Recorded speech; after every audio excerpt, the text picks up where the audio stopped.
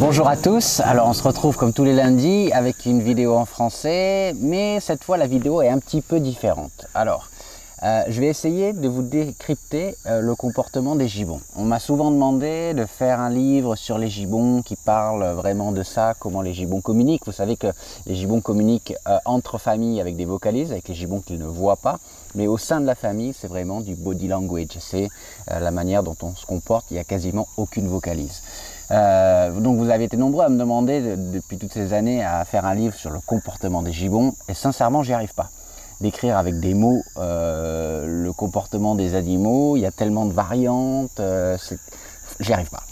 Euh, et comme vous avez vu récemment, j'arrive à avoir une relation privilégiée avec Eddie et Souci. Je me suis dit, je vais filmer lorsque je rentre dans la cage avec eux. et je vais vous décrypter les images. Comme ça, vous aurez vraiment, j'ai vraiment de la matière pour vous expliquer le comportement des gibbons. Avant tout, euh, il y a euh, deux façons d'approcher des animaux sauvages en captivité.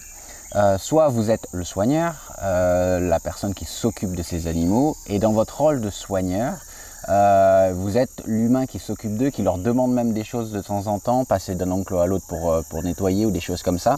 Donc la relation est complètement différente. En plus, si vous êtes amené à manipuler les animaux pour les attraper, etc., euh, vous êtes vraiment dans ce rôle de soigneur euh, qui connaît très bien les animaux, ou vétérinaire, qui connaît très bien ces animaux, mais qui ne peut pas entretenir une relation privilégiée de gibon à gibon. Euh, si vous voyez ce que je veux dire, parce qu'encore une fois, la confiance va être limitée parce que vous êtes amené à, attraper, manipuler, demander des choses aux animaux. La deuxième approche, qui est plus compliquée, qui, a, qui, comment dire, euh, qu'on rencontre peu souvent parce que euh, c'est pas dans le cadre d'un travail, euh, parce que lorsqu'on rentre donc avec cette deuxième approche en tant que gibbon, ou en tout cas en essayant d'avoir les mêmes codes qu'eux pour obtenir leur confiance, vous pouvez absolument rien demander aux animaux. C'est vraiment les animaux eux-mêmes qui décident ou pas de venir au contact, euh, qui, décident d'avoir une relation avec vous. Et cette relation est basée sur la confiance. Donc euh, euh, vous ne pouvez pas entrer dans la cage des gibbons en utilisant les codes des gibbons pour, vous, pour que les gibbons aient confiance en vous et au milieu de la relation euh, détruire tout ça parce que vous attrapez l'animal, parce qu'en fait vous vouliez lui attraper un bras ou une main pour lui faire une injection. parce qu'à ce moment-là vous perdez évidemment toute la confiance des animaux. Euh, donc voilà, c'est vraiment deux approches différentes. Euh, ici, 99,9% du temps, évidemment, c'est l'approche soigneur euh, vétérinaire. donc il y, a, forcément un fossé, il y a forcément une distance qui se crée entre les animaux et les humains qui veillent sur ces animaux. Et, mais dans ma relation avec Eddie et Souci, c'est justement l'inverse. C'est la relation où j'entre dans leur environnement en essayant de respecter leur code. Voilà, je pense que j'ai été clair. Euh, donc là, leur dis avec moi. Euh, pourquoi je décrypte les images que j'ai enregistrées Je ne le fais pas en direct parce que l'une des choses que les gibbons n'aiment pas lorsqu'on rentre avec eux euh, pour établir une relation proche basée sur leur code à eux, c'est évidemment qu'on parle.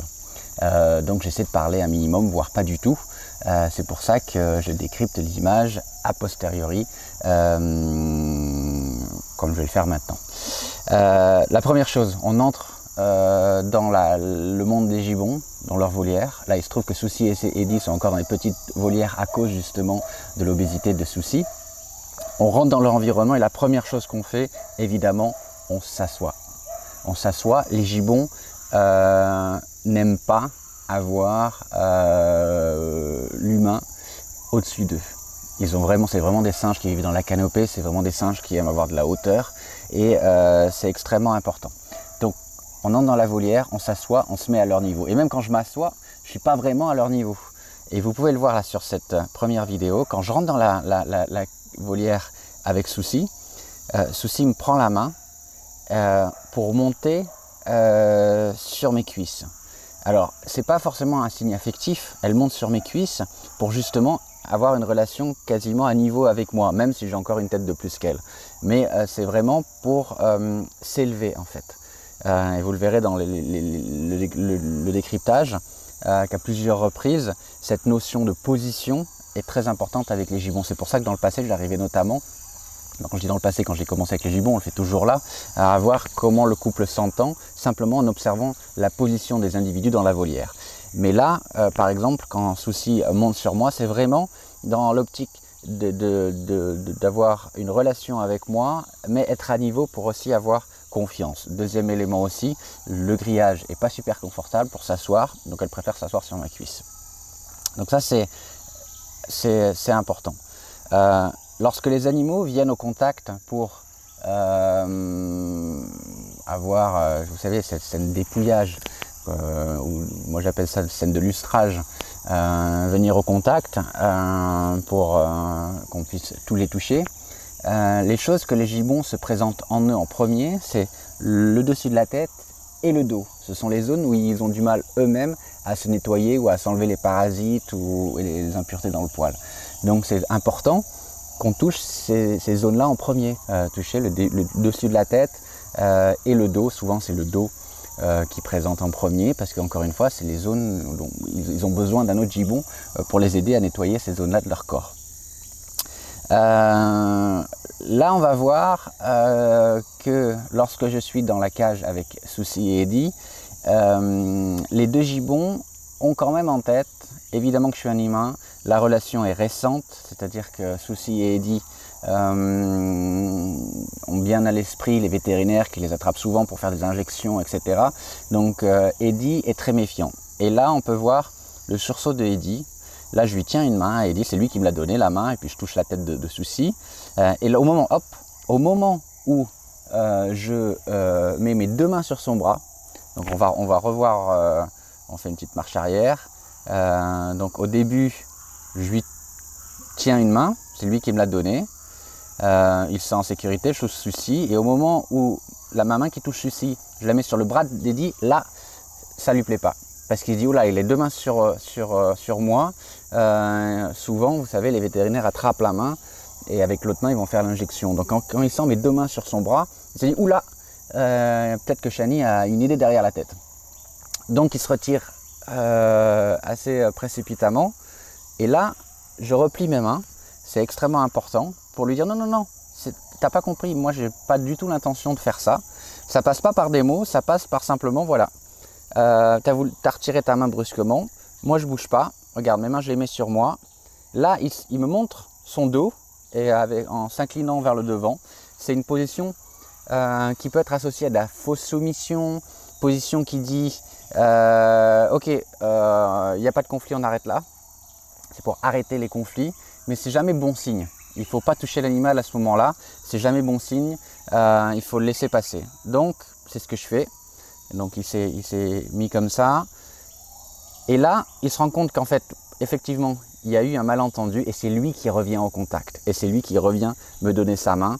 Et souci aussi, on voit, beaucoup plus décontracté. Donc là encore une fois, sursaut parce qu'il d'un seul coup il a un doute sur mes intentions, il enlève sa main, moi je me retire aussi, il se retourne, il se penche un peu en avant pour monter son postérieur en fait. Donc là je prends aucune initiative et c'est lui qui revient au contact, euh, même plus proche qu'au départ, euh, pour dire ok, lui mal, entendu, euh, je reviens vers toi. Donc ça, c'est des petits détails qui sont extrêmement importants parce que si on passe à côté de ces petits détails, ça peut s'envenimer. s'envenimer. Ensuite, quand par exemple, je vous ai dit que les gibbons sont très très possessifs les uns des autres, quand Souci prend l'initiative, voilà, les sur ma cuisse prend l'initiative de vraiment venir au contact très très proche. Donc là, je l'ai sur moi. mon regard, il va vers Eddie. Parce que si jamais Eddie devient jaloux, c'est là où le problème risque de se poser. Si jamais j'allais observer un signe de jalousie, j'arrêterai immédiatement ce genre de relation avec le couple. C'est pas du tout ce qu'on veut avec les gibbons. Encore une fois, j'ai pas envie d'abîmer leur relation. Donc, euh, souci vient euh, comportement extrêmement tendre qui me touche beaucoup. Et mais je regarde Eddie pour m'assurer que voilà, j'ai l'autorisation de tout le monde. Euh, ensuite, il y a, y a eu à un moment donné, et là on revient sur les, petites, euh, les petits signes qui sont extrêmement importants. Euh, il faut vous dire que souvent les soigneurs ou les, les vétos attrapent euh, les gibbons qui sont dans des cages avec un, sol, un, plancher en grillage, attrapent les gibbons par le bas. Et, euh, et là vous allez voir, avec souci, au moment où bon, je, lui touche la cuisse, etc., il n'y a aucun souci. Elle commence à regarder ma main parce qu'elle trouve ma main un peu trop basse. Et au moment où je lui touche le ventre, hop, au moment où, je lui touche le ventre, elle fait un signe d'intimidation, elle me dit arrête. même si elle ouvre la bouche et qu'elle s'approche de ma main, c'est pas qu'elle veut me mordre, c'est vraiment pour me dire arrête, je veux pas que tu me fasses ça. Euh, mais ce qui est surprenant, c'est que Eddie voit que Souci est un petit peu embêté et hop, qu'est-ce que fait Eddie? Alors la caméra est un peu trop, euh, le cadre est trop serré, euh, mais en fait il met une tape sur la tête et il monte immédiatement à mon niveau. Il se sentait trop bas. Encore une fois, on revient à la position dans la cage. Eddie, je dis hop, tu fais pas ça à ma femelle, tu touches pas son ventre. Euh, il me rappelle à l'ordre en me donnant une claque sur la, tête. C'est pour ça qu'on voit de seul coup mes, cheveux comme ça arriver devant. Et surtout, vous l'avez vu, il monte immédiatement au niveau de mon visage. C'est extrêmement gibon. Euh, pour euh, prendre de l'assurance. Il défend sa femelle. Et sa femelle a l'air est plus dans l'attitude euh, je voulais pas que ça s'envenime, hein. je voulais simplement lui dire de pas toucher mon ventre, hein. il n'y a rien de grave. mais Eddie voilà, met les choses en place et il a besoin de monter pour être à mon niveau. Alors pareil, il me montre son postérieur, signe de, soumission, fin de conflit. Je ne le touche pas, c'est pas le moment, je touche même pas à souci, c'est important. Je les laisse faire. Où est-ce qu'ils s'en vont? Ils s'en vont? Euh, il veut euh, revenir au contact. Donc la décision doit être prise par Eddie lui-même. Donc là encore une fois je fais rien, j'ai mes mains contre moi pour leur montrer que regardez mes mains sont bien là, elles ne sont pas susceptibles de, vous attraper. Et Eddie réclame le contact à nouveau avec son pied et sa main. Et là, euh, tout redevient normal et souci aussi redevient plus calme. ça aussi, un avertissement de souci, qui ouvre la bouche comme ça en s'approchant de ma main. Eddie qui rétablit les règles. Eh, tu fais pas ça, Chani. Et euh, si, on, passe à travers ces, hum, ces, premiers signes, là, ça peut devenir euh, dangereux. Euh, Souci a quand même des crocs de 2 cm et demi. Euh, Eddie a encore ses crocs du bas, je crois. Oui, du, bas. Et donc oui, si on, on, continue à les toucher au moment où il ne faut pas, où ils ne le veulent pas, évidemment, euh, après c'est morsure. Donc c'est ces petits signes, vous avez vu, il n'y a aucune vocalise, mais c'est aussi ces comportements-là que les gibbons vont avoir entre eux. Euh, donc c'est vraiment décoder leur comportement. Euh, idéalement, il faudrait en fait quasiment que je m'allonge pour être à leur niveau, mais après j'ai une marge de manœuvre qui est quand même extrêmement limitée, donc c'est pas facile. ensuite, dans la relation où, encore une fois, euh, on établit une relation basée sur leur code à eux, dans leur monde. Je suis dans leur volière, je ne gère rien, c'est eux qui prennent les décisions de venir ou pas de venir, etc. Et dit par exemple, cette fois-ci, a, mis euh, au moins un quart d'heure avant de venir vers moi. C'est son choix, il peut très bien ne pas venir du tout. Et, euh, donc c'est beaucoup dans un sens, c'est-à-dire qu'ils viennent au contact, mais c'est moi qui passe du temps à, les épouiller, à les lustrer. Euh, sauf que cette, relation, elle évolue avec justement la confiance qui s'établit, avec tous les codes que j'ai pu mettre en place et surtout avec tous les codes que j'ai pu effacer euh, en tant qu'humain pour qu'ils gomment un peu l'image qu'ils ont des humains, euh, soigneurs, vétérinaires, etc.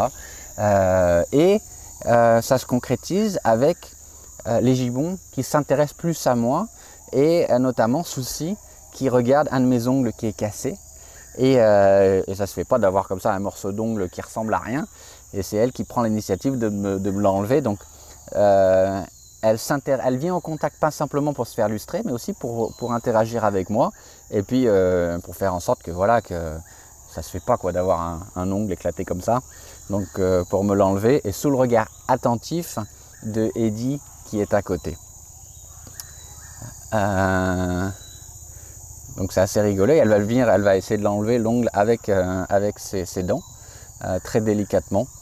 Euh, et ça, ça fait plaisir parce qu'encore une fois, c'est rien ne la pousse à faire ça. quoi. c'est simplement la relation de confiance s'établit et donc du coup les deux gibbons bah, à ce moment-là, me regardent plus forcément uniquement comme un humain parce que j'ai su lire leur, code de communication. C'est une première vidéo, euh, je vais essayer de faire ça régulièrement, tout dépend comment évolue la situation avec Eddie et Souci. Encore une fois, je me sens très privilégié de pouvoir rentrer avec eux, euh, avoir une relation avec, avec, avec eux deux. Comme je vous l'ai dit dans la précédente vidéo, c'est très très rare. Et c'est une très bonne opportunité, je pense, pour décrypter le comportement des gibbons, qui devient complexe, parce qu'avec un gibbon seul, c'est extrêmement compliqué de faire ce genre de décryptage, mais avec deux gibbons, euh, c'est beaucoup plus riche. Euh, et, voilà, donc je vais faire euh, comme ça régulièrement des vidéos, si vous êtes d'accord, sur le comportement des gibbons avec Eddie et Souci. il faut que vous sachiez aussi que là, par exemple, je suis avec les gibbons, j'interdis qu'il y ait un soigneur, un vétérinaire autour. C'est vraiment seul avec, les gibbons. C'est pour ça que même il y a, personne me filme, la caméra est mise comme ça, près de la cage. Euh, c'est important encore une fois pour avoir leur confiance, parce que quand les, soigneurs ou les gars de l'équipe attrapent les gibbons pour les manipuler, euh, ils sont jamais seuls. Voilà, euh, première vidéo de la série qui va s'appeler Et si on parlait gibbon? Merci à tous pour votre soutien. et puis moi je vous dis à lundi prochain. Merci beaucoup. Bye bye.